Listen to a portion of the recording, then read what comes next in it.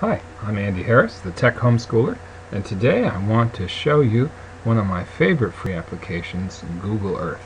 This is an amazing, amazing tool that lets you do all kinds of exciting and wonderful things. It's basically a digital globe, but it does so many more very exciting things. Well, uh, the first thing you do is download this thing. It works on all the major operating systems and it's entirely free. Uh, the other thing is if you've got a three button mouse, you really want to hook that thing up. Uh, this thing is great with a mouse that has a scroll wheel. Uh, there's some controls that you can use. Um, so you can zoom in and zoom out and pan and change your orientation. But it's probably easier to use a mouse. If you've got a three button mouse, we can use the scroll wheel to zoom in. And then you can use the left arrow to pan and then press on the scroll wheel to tilt. And that turns out to be pretty useful when we get down to the ground. So we're going in, we're going in. Let's go into um, Indianapolis. I know what we're going to do. We're going to go visit where I work because it's a kind of a cool place. So we get down, and as we get down low, it's something amazing happens. In certain parts of the world, you will see there actually are three-dimensional buildings. And there they are. The buildings are popping out in 3D with accurate textures on them. So we can actually see the buildings. That's the building I work in. You can go, there's the library. And so we can actually look around and see this campus in 3D. Oh, that's cool. But wait, there's more. If you act now, we'll zoom in even tighter. I'm going to go over here on the road. We'll get down here on the road. And in certain places, if you get in really close, you get to what's called a street view. The street view is where those Google cars with the cameras have driven around and actually you're seeing photos. Don't worry, they're not in real time. This is not happening at the moment. Um, but you can see panoramic views, actual photos of various places. And we can uh, kind of do a little time warp, get in DeLorean, and, uh, and see the whole place. This is the office I work in. Sadly, I do not work in the tube, but that would be cool. Um, you can see there's some of my students. Hey, get to class. And there's a car about to run us over. So let's exit out of this thing. Uh, but that's a lot of fun. You can find Street View of uh, most places in the, in the United States if it's a well-populated area and a number of other places throughout the world. So I know what you got to do right now, right? Go go check out your house. Yeah, do that and then come back because we've got more.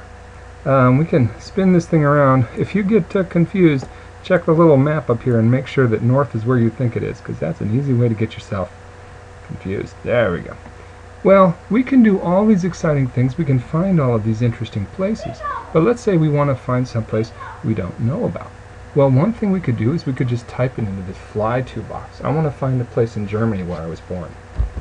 Baumholder, Germany. I was an army brat. I got to live all over the place. I was a pretty lucky kid.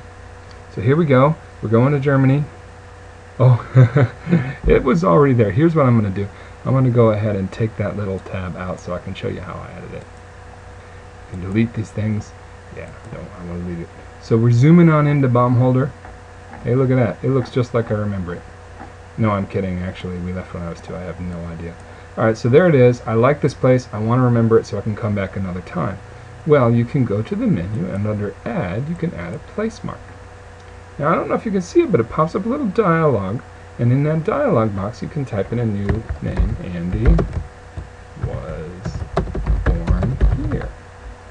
And you can do more interesting things. You can change the color of the thumbtack and so on. But now there's a thumbtack there. And even if we zoom back on out of there, we can still see that little place mark there in the middle of Germany. So anytime we're looking at Germany, we can see where I was born. Oh, and I know you want that. That's pretty cool, isn't it? Yes, it's very cool. Now when we look back over at this places menu, you can see a list of all of the places that I've marked. And you can do this too. When you start marking places on your map, you'll have them all here and you can jump directly to them. I'm going to take you to another one.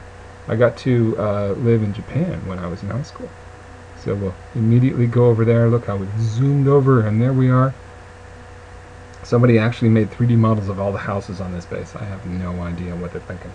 Um, but that's pretty cool. So you can see that's a house that I lived in when I was in high school. Zoom back out, you'll see something I never saw when I was there, because there was always a lot of pollution. So we come here a little bit, and you'll see it's not far from something you probably recognize. Look at that. There's Mount Fuji. Yeah, we live right in the shadow of Fuji. Never saw the darn thing.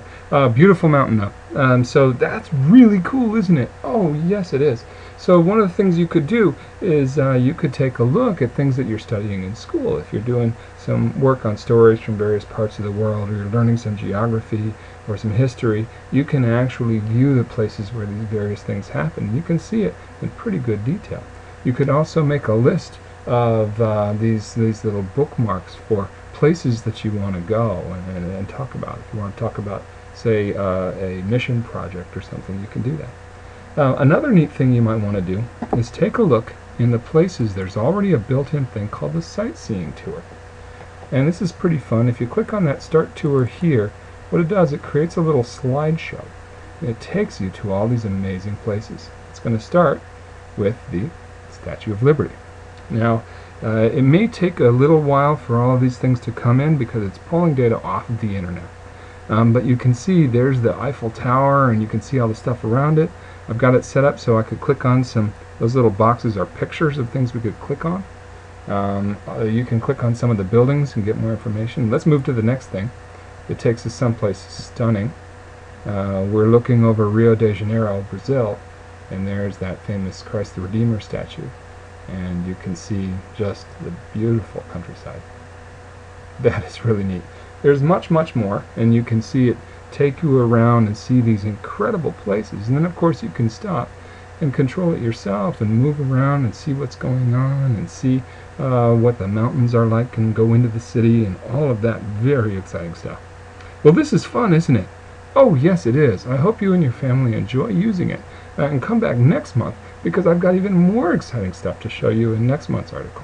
We'll talk about how to search for buried treasure, how to find live web cameras, and even how to get into an F-16 plane and fly around these places. Oh yeah, that's what I'm talking about. Alright, I'll see you next time. Have a blessed month.